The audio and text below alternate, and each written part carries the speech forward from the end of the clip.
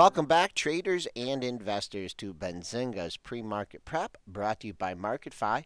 I'm your co-host Joel Elconin, along with Garrett Cook, and we have Blake Morrow on the line. He's a chief currency strategist at Wizetrade. Blake, how you doing this morning? I'm doing great. Thank you guys for having me back on again. It's been uh, it's been a while since July actually. Okay. All right. Well, I, first of all, I got to talk to you about this FXCM uh, debacle, and uh, I hope you're not clearing them. I just uh, did you see any kind of fallout from that? Have there been any changes in regulations regarding currency trading? And uh, do you see the chance of something like that happening again? Oh, you know that's a great question. It's a loaded question. Uh, no, we don't clear through FXCM, and uh, and and matter of fact, they're one of our I guess, competing brokerage firms. My parent company is uh, MB Trading, uh, to ranked by Barron's as like one of the top execution brokers, you know, for many years in a row. And, you know, so we kind of compete with FXCM, but the fallout that we really got was some clients came over um, because we, we, I, I guess, you know, people were looking at the stability of the companies and, and whatnot. And I think, you know, what happened with FXCM um, shook the trees a little bit. And so we, we actually saw some customers come over to us after the fact, excuse me, we um, we also, uh, you know, I've, I've been trying to steer people clear of the Swiss pairs and especially the Euro Swiss over the last several months. So I think because of that, we didn't have as many traders, you know, trying to trying to play that trade, if you will, being long the Euro Swiss. It, it, it the trade didn't make any sense to me. I, I know I knew a lot of people and big money traders that were doing it too, and I'm like, I'm like, it, it, I always thought about more of a, a European Grexit, if you will, or you know something shaking up the eurozone that would have uh, urged people to, to, to, to investors to really come to the Swiss franc and, and eventually test the floor. I didn't think the floor would be, you know, pulled, if you will. Um, so I wasn't looking at it in that respect, but uh, but anyway, I, I think our fallout was very minor, and uh, like I said, we actually picked up some some some uh, some customers over at MB Trading. So. Uh, good good intuition there. Uh, just looking at this uh, FXCM stock here, I think uh, like the only pop that it had, I uh, I was lucky enough to play it a little bit on the long side. I'm glad I got out. Um, is there, you know, I mean, are they going to survive? Uh, I, you know, I, I, I, I look at the terms and uh, that that they're dealing with, and some pretty for, I mean, if if they don't pay pay down their the the the, the money that they've borrowed over the course of the next year, I, I would assume that's going to be pretty detrimental to the stock. Uh, I'm sure they're looking for other alternatives too. It's it's kind of like Greece. I, I mean, I hate to you know draw the parallels there, but it's it's like Greece. You know, Greece is trying to survive under really you know, um, you know, high rates and, and, and, and almost impossible terms. And I, I don't know if FXCM has kind of gotten themselves in that type of situation, but I think the stock is reflecting that. And, um, you know, I, I hope they survive, I, I, you know, because even though they may be a competing broker of, of, of us, um, it would be a shame because I think they they really run a, a great operation over there. Uh, unfortunately, they did see some of the risk, but but they do they do have a you know they have a good company and hope they they can survive this uh, the situation. Okay, uh, you follow other things besides the currency market. Uh, S&P 500 futures did make a new all-time high at 89.75, eclipsing the former high at 88.75 kind of tough to trade it up here. I mean, certainly not going to make any money shorting it. Do you have any uh, short-term strategy for the E-mini S&P 500? Well, thanks for asking. And uh, yeah, I mean, we're sitting, and I'm looking at the the the, the S&P futures, just the continuous contract, and we're you know obviously knocking our heads right up against previous highs that were set in December. I, I was looking at this cup and handle pattern, and we've been following it all week. That start developing on the sixth of um, of, of of February, and it really started to take off on the um, on the uh, 11th, I believe. And so that pattern, the cup and handle pattern, and I don't know if you're looking at the chart, but uh, but the four-hour chart really points to about uh, on the futures about 2097 or so. So uh, you know, I, I agree with you. It's tough to be on the short side. I wouldn't want to be on the.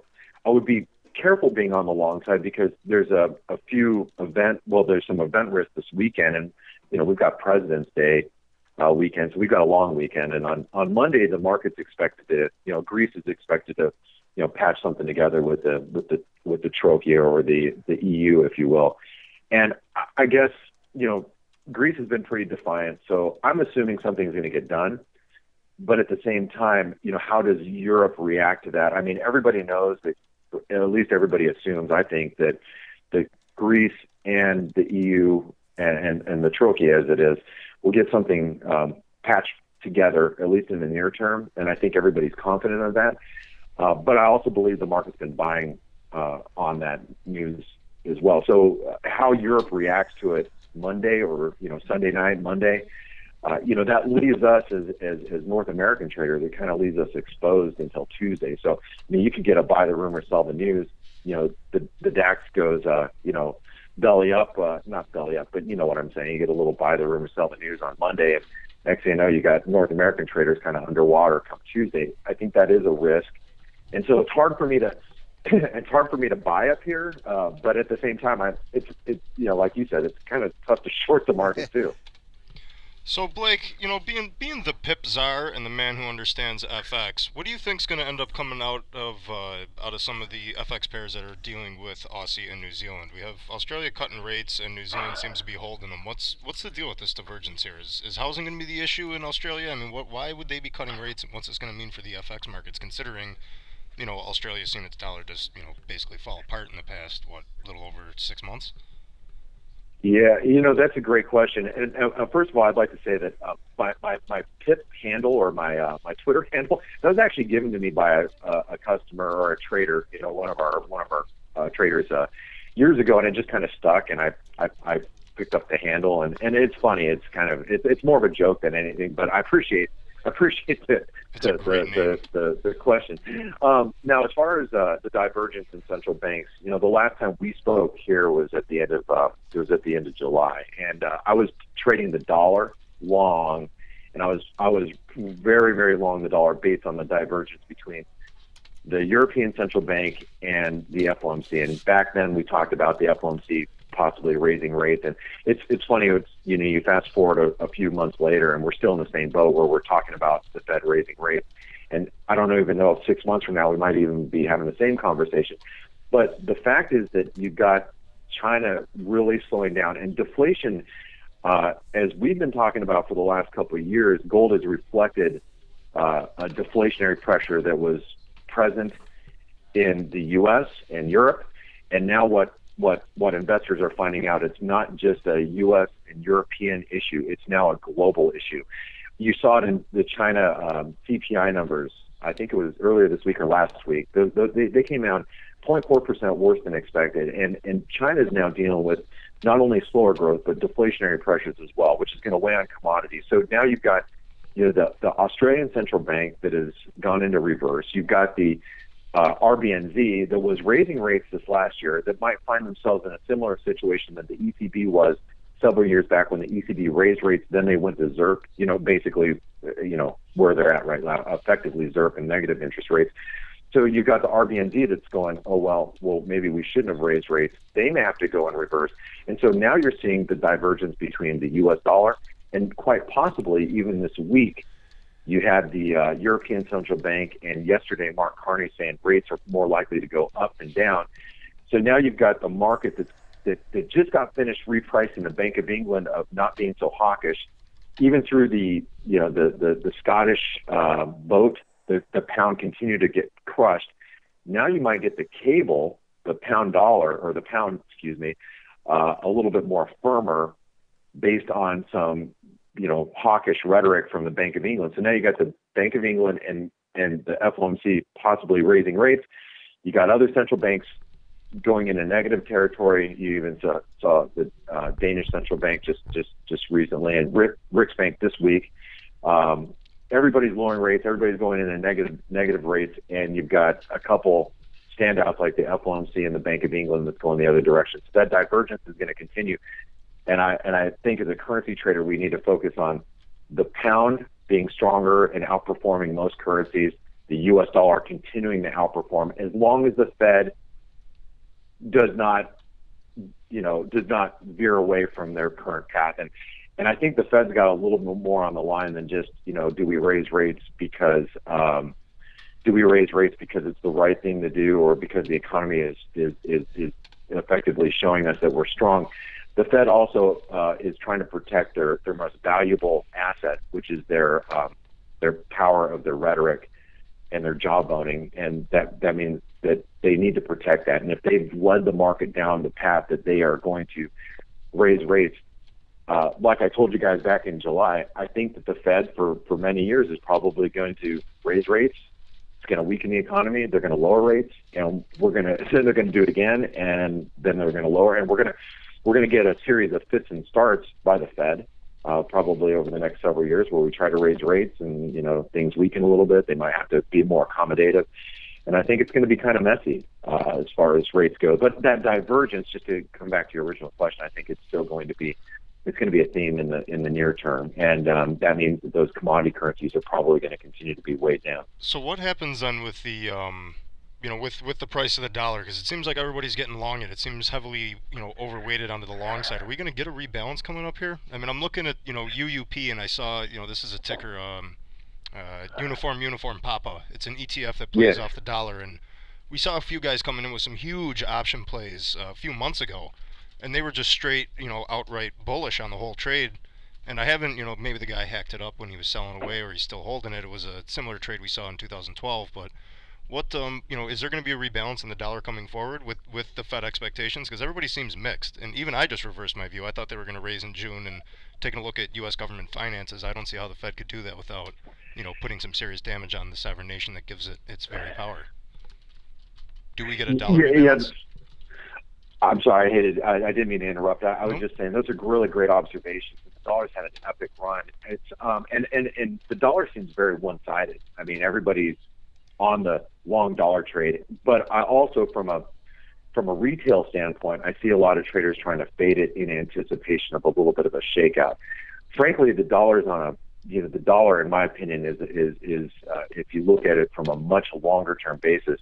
Uh, we were looking at it from a, a, a price scale and a logarithmic scale that we're, we're up against some pretty key levels here and we've we've basically challenged a, if you follow Fibonacci, a 50% retracement from um, you know recent peaks back in like 2000 or uh, you know 98 or something like that, and and uh, but it, it had a similar retracement from the the moves in the 70s and 80s, and and as much as I'd like to think that the dollar is going to you know pull back, the fact of the matter is it's not. It's it's holding on to a majority of its gains, and I think any uh, any pullback is going to be fairly limited. And I have a feeling that the market's trying to lean on that, you know, on that that pullback in the dollar. And and I think a lot of longs are probably, you know, taking some profits here. It's been an epic run. I mean, you cannot uh, cannot deny that. But at the same time, we cannot deny the fact that the Fed is diverging away from other central banks. Now, when you say, well, the, the Fed can't raise rates, again, I I think the Fed will raise rates not because the economic data is is is is necessarily pointing in that direction. But if you look at you look at job growth, job growth, you know, and you can you, we can argue about the, the the types of jobs that are being created, but job growth is at a at a pretty uh, you know high rate, you know higher higher than we've seen in in, in six or seven years since pre-financial crisis era.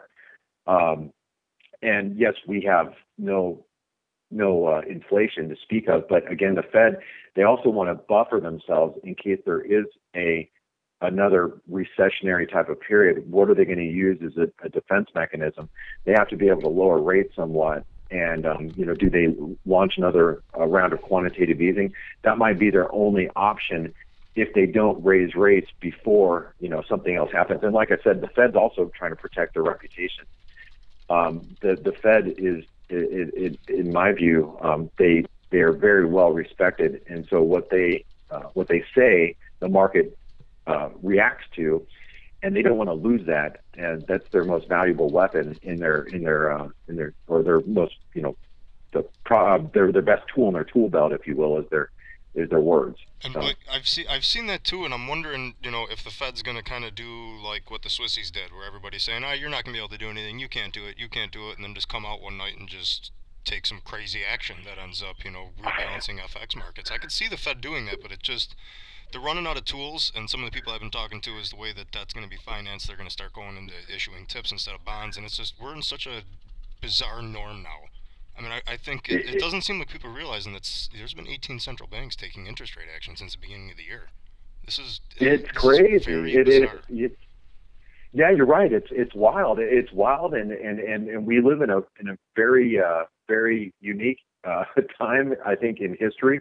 You know, I've been I've been in the markets for 20 years, and this is definitely some of the most volatile uh, trading environments I've seen. It's good as a trader, uh, as an investor. You got to be a little nervous up here as the markets have made ma- a massive run over the last, you know, five or six years. Um, but yeah, with with all the central bank activity, it's it's obviously creating a lot of a uh, lot of opportunities in the currency market, and it's a tough call. And and I, I look at it from a from a trading standpoint, and I was extremely bullish this summer in the dollar. I rode the dollar, you know, like a bucking bronco for the last you know six months or so, and really backed off as as we approached the holidays and and and I am conflicted as a trader, and which means that I, I tend to be a little bit more active uh, as far as the dollar goes these days, and I tend to be a little bit more uh, trading both directions uh, because I, I don't want to be committed, too committed, one way or the other at this point. We're a pretty big inflection point in the market as far as the dollar goes.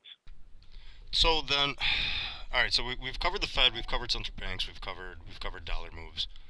What's the story then out of China? I mean, there's rumors about you know greater greater easing coming out of there. Um, no one seems to really be able to confirm any of this, but China's clearly in trouble. We've got the U.S. in trouble, and we've got Europe and Greece talking about what's going on over there.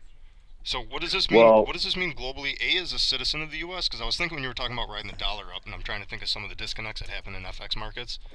And it's it's when you're a trader, you have to view it from a trader's perspective. But as a citizen, it's kind of like you know what, what do I do? You know, I got to make money here, but I can't just you know help support the currency. I know that um, sterling is really, you know, something that the UK people are really proud of. So, um, what's going to be your big play going forward? If you're if you're looking at all this craziness in the world, is there any certainty that you're able to get behind, aside from just being, you know, living in America and looking at the U.S. dollar as a strong point?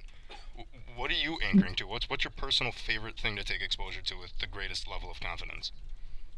Well, that's a great question. Uh, I, you know, the, the using the term currency war has been a big, you know, people really shy away from that. But hey, you know, I, I let's call it spade a spade.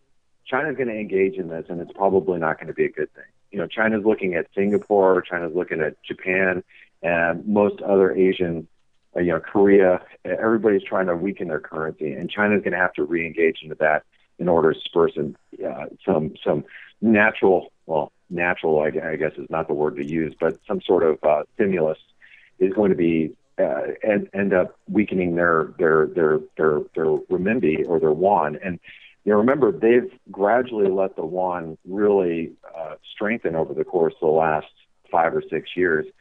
So at this point, you know, if China re-engages into this, you, you know, again, call it whatever you want. I'll call it a currency war. If they engage into a currency war, I think it's going to be it could get pretty hairy in in in the, the, the, Asian Pacific region and those currencies as well, um, which is just going to further strengthen the dollar. As they weaken the yuan, it'll strengthen the, the dollar even further. I don't know how it's going to act versus the European currencies, but just to, to go to your, your, your question, what are my favorite trades right now?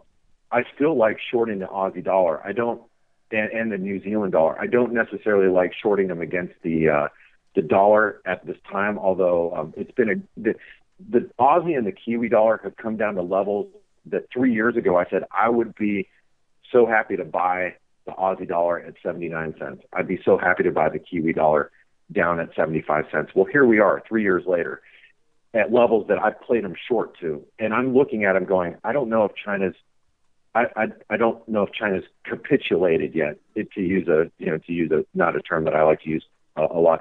But I think China might continue to weaken as far as their economy goes. And so it may continue to drag down those currencies. But instead of playing the dollar, I'm playing the euro uh, slightly, just in case we get a bounce in the euro dollar because of you know what's happening in Greece. But what I am playing is I'm playing the the the, the Great British Pound against the Aussie and the Kiwi dollar because as the market starts to price in maybe a more hawkish Bank of England, um, they you, you still look at the RBA as cutting rates maybe one or two more times this year, and maybe the RBNZ backing off and, and maybe even cutting rates after raising them a full percentage point last year. So I think playing some of the what we call the cross rates are, are is the way that I've been. Well, I've already been playing them for the last month or two, and I'll probably continue to play those to the upside instead of playing the dollar where I'm just not so comfortable trading. We've been on the line with Blake Morrow. He's a chief currency strategist at Wizetrade uh, and giving us uh, an outlook on the world currency markets. Blake, thanks for coming on. Have a great day. We hope to speak to you again soon. You guys are gentlemen. Thank you so much for having me.